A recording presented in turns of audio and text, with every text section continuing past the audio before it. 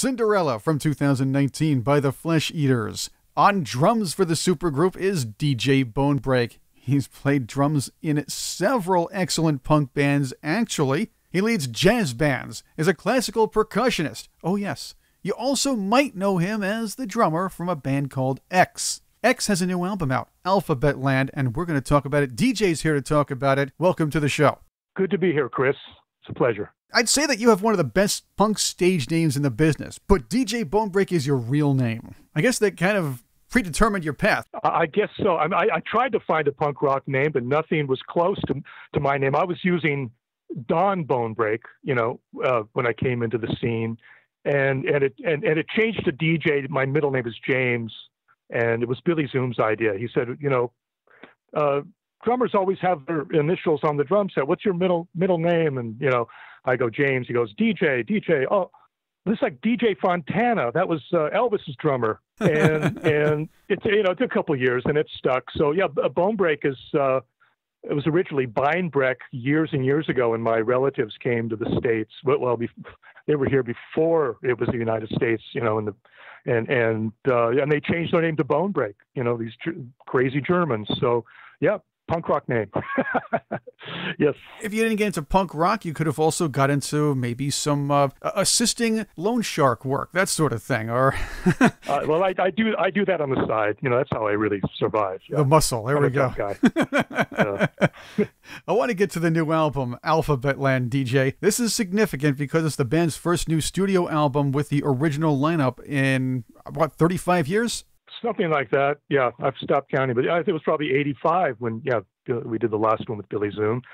Uh, yeah, why did it take so long? Chris, tell me, why did it take so long? I don't know. at least what inspired you to do it? And we had talked about it over the years, and you know, it, it's really difficult. Uh, you know, musicians know this. It's really difficult to record an album, or if you can record it, you know, what do you do with it? And and can you make any money? And and you have to promote it and, and, and you know, for a while we were happy just just going on tour. You know, when Billy Zoom rejoined the band in in uh, 1997, we just you know we just played we just played uh, around the United States and maybe 60, 70 shows a year. And and you know then we went on and did our other projects. And you know it takes time to write songs and rehearse. So so so for you know for a long time both John and Exene had their own own own bands. I have my own bands.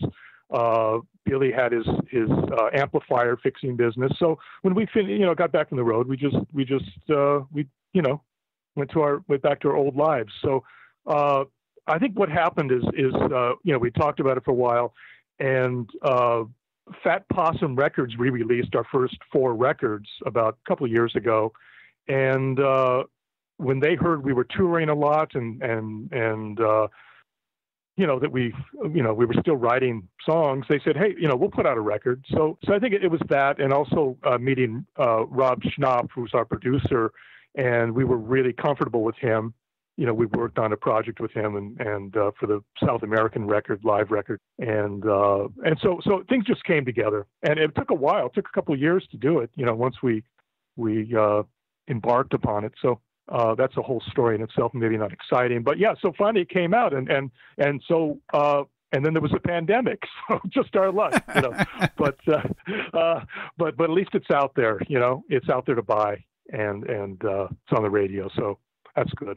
DJ Bonebrake is with me on Revenge of the 80s Radio. We're talking about X's new album, Alphabet Land. As a longtime host of this program, we, we're into 12 years now. I'm a quite a nosy fellow as well, a longtime broadcast journalist too. I usually hear a bit of pre release hype, uh, at least whispers from sources. From X, nothing. The album dropped as a surprise. I had to double check my own brain on this one just to make sure I didn't miss anything, but it was a surprise. Well, well, it was a surprise to me too, and everyone else.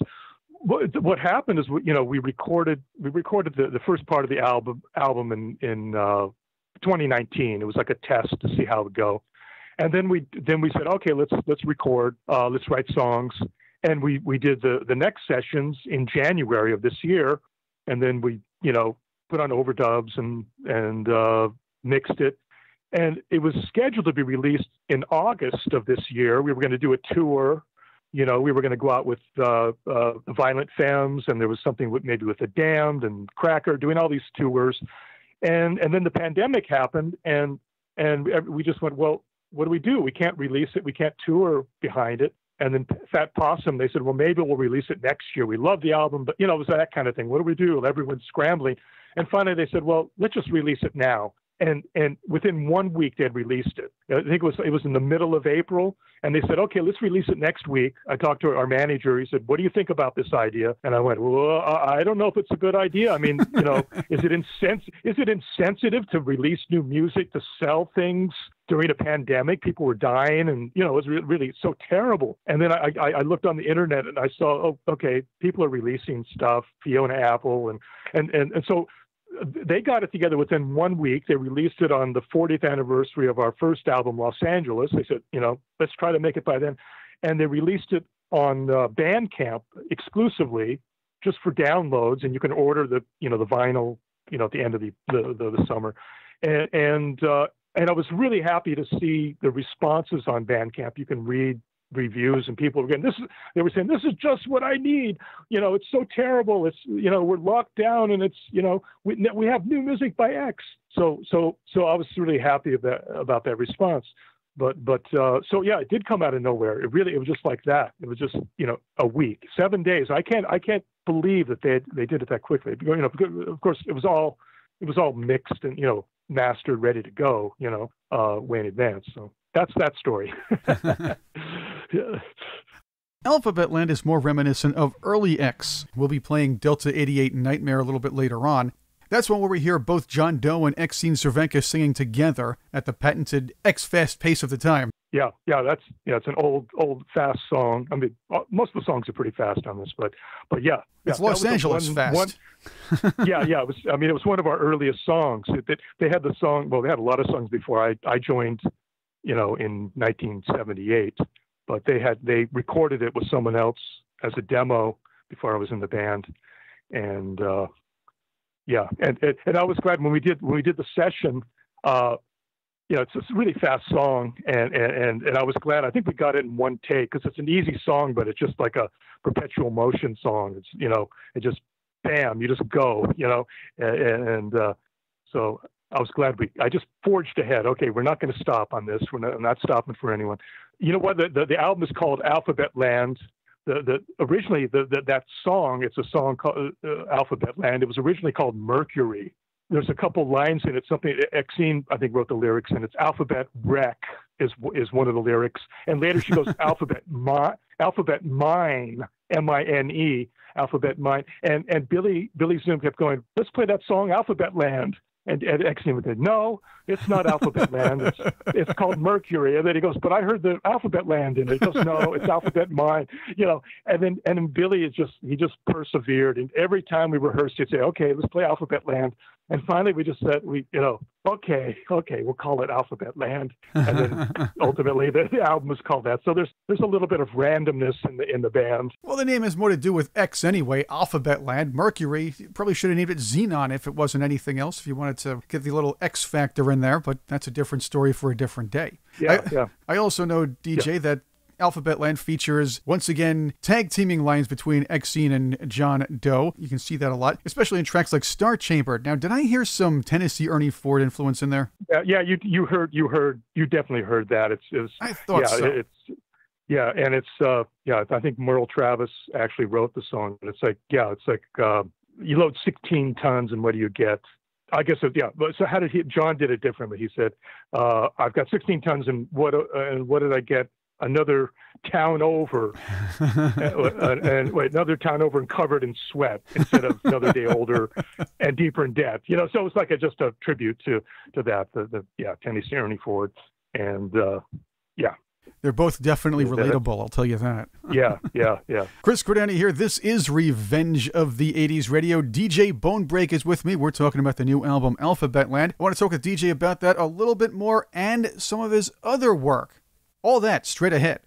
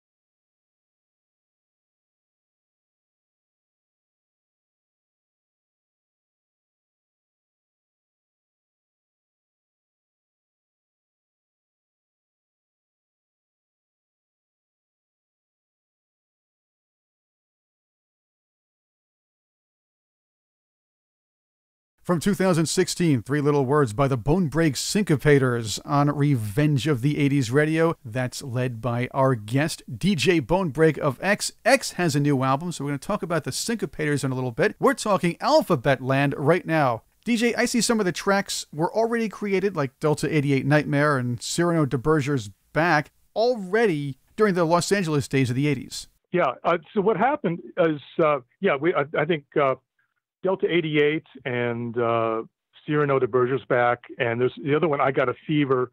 Those were songs that that uh, they were way back. I mean, just before Los Angeles was was recorded. You know, the early early X stuff, and and they didn't. They never were released except uh, Cyrano de Berger's back was was recorded uh, with Tony Gilkyson uh, in uh, I think it was 1987. We did a version of that. So what happened when we had we hadn't recorded as a band for for a number of years?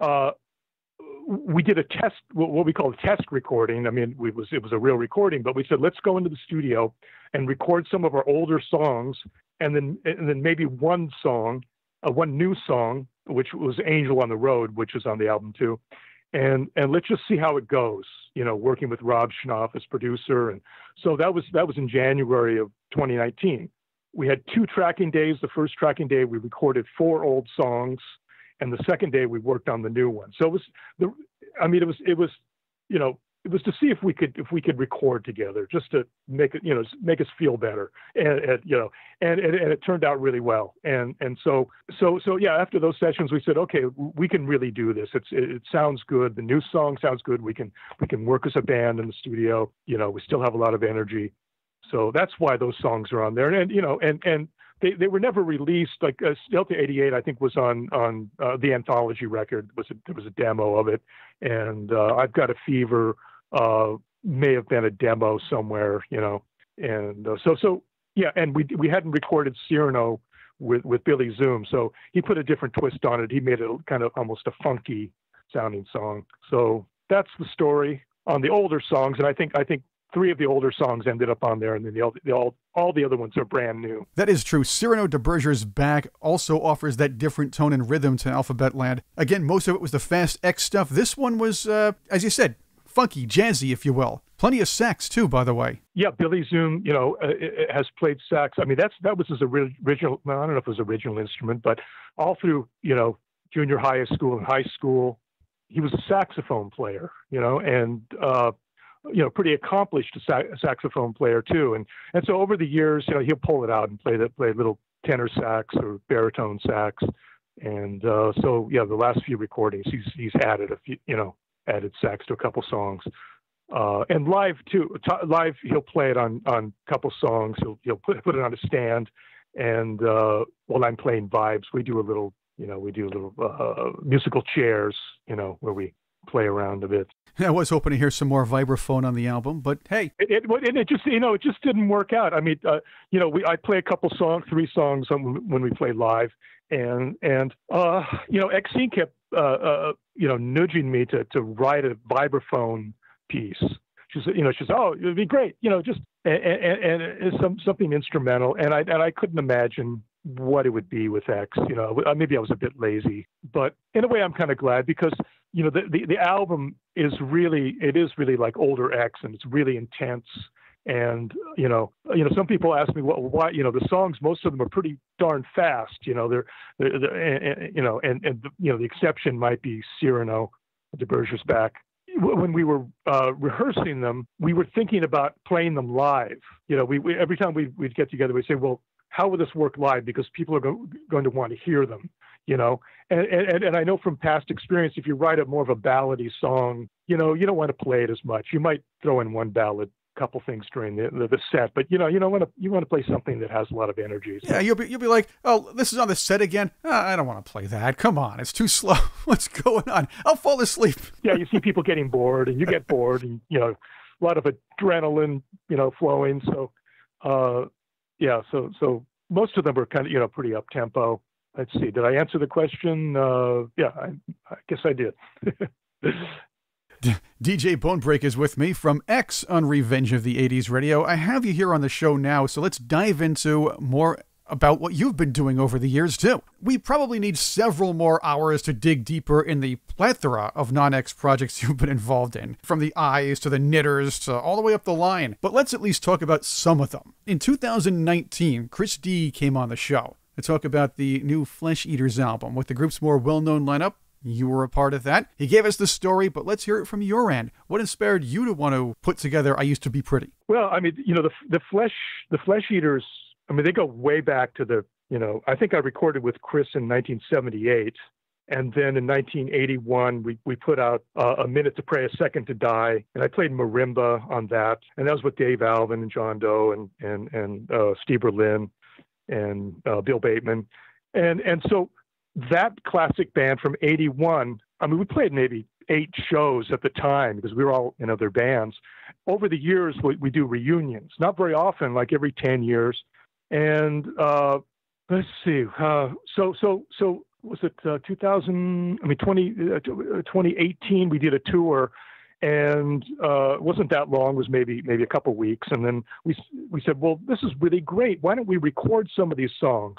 You know. And then Chris said, yeah, I've got some new songs. Chris D, the singer, uh, I've got some new songs. Maybe we can get together.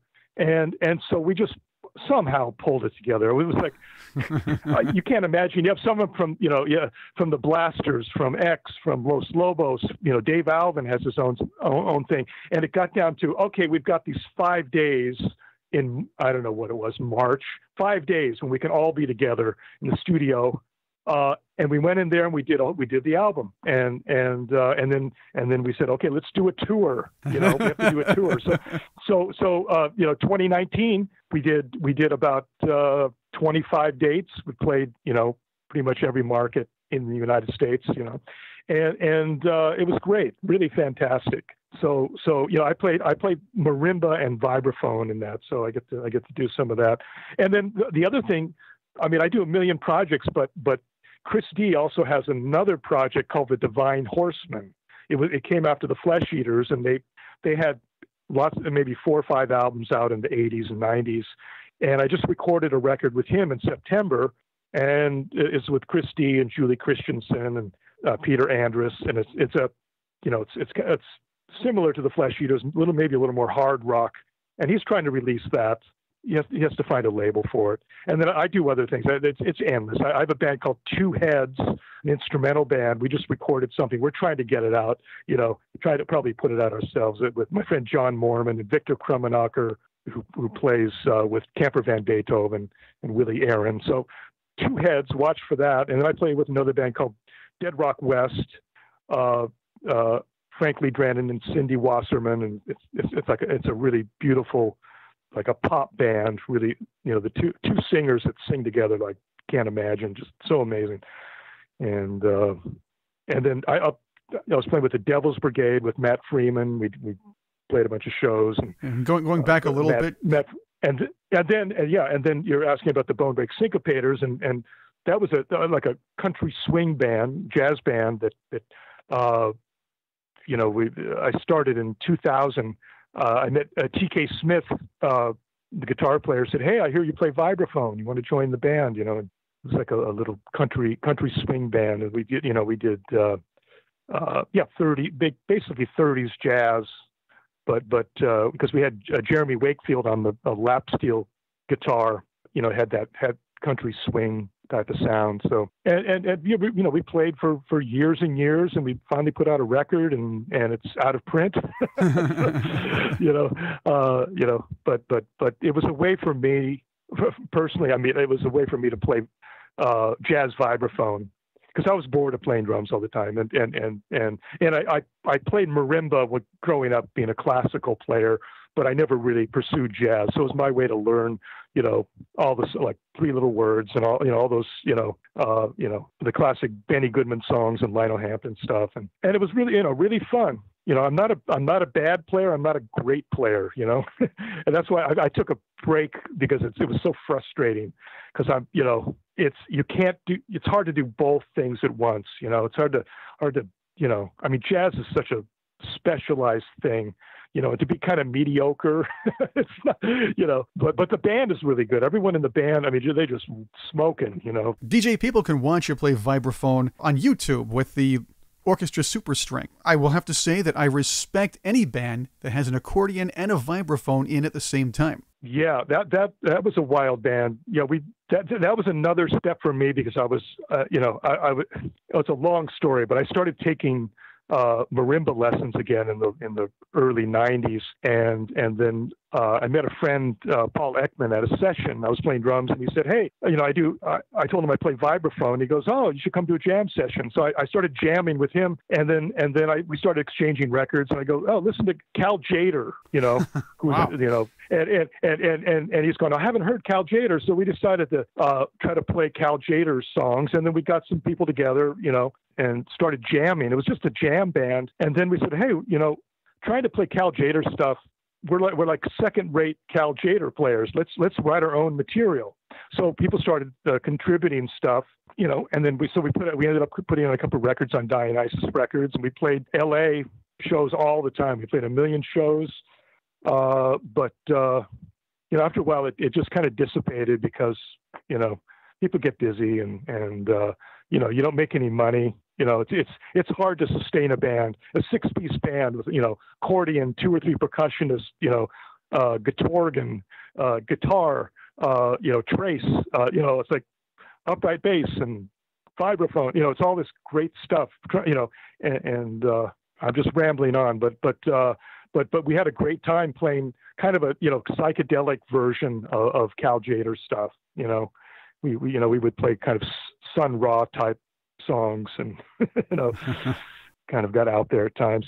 DJ Bonebrake is with me on Revenge of the 80s Radio. We're talking about X's album, the new one, Alphabet Land, and the varied world of DJ Bonebrake music. DJ, let's get back to the album. You released this, you quick released it in the middle of this COVID pandemic and all the shutdowns. That means no big concerts for a while. What kinds of plans might X have to promote the album uh, or, or maybe tour later when things clean up? Yeah, that's the idea. I mean, we're trying to think of ideas, you know, ways we can do things. I, am not sure what it's going to be. You know, we'll do something temporary, something temporary like record i don't know like do a performance without an audience but you can't really you can't do a lot of that you know it's like yeah i don't really know it, it, everything is up in the air but, but, you know we're trying to figure something out but yeah i guess what we'll do is we'll we'll uh, try to do something next year you know when when it's safe to go out. In the meantime, we're, yeah, we're just doing interviews, trying to get the word out, you know. But but yeah, it, it, everything is up in the air,